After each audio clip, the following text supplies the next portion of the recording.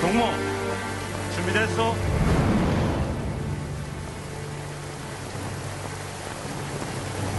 광명성 14호 통일임무 복사 남조선에서 공작금을 착복하고 사라진 김영박의 생사로 확장과 고정 간첩들의 사상 검증이 저의 임무입니다.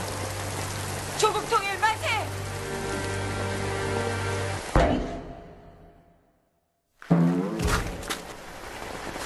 아,林동무林동무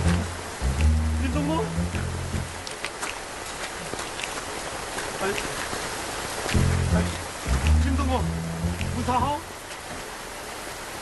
내래 끝도 없습니다. 알겠어林동무 그럼 무운을 빌겠어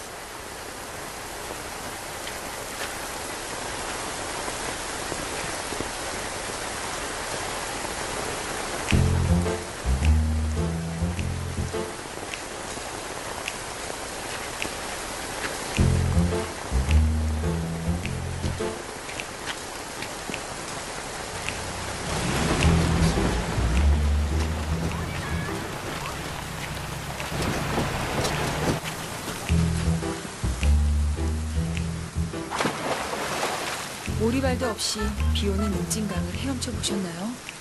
얼마나 힘든지 간첩이 아니면 절대 모른답니다. 그땐 정말 자수라도 해서 편하게 살고 싶은 생각이 들 정도였습니다.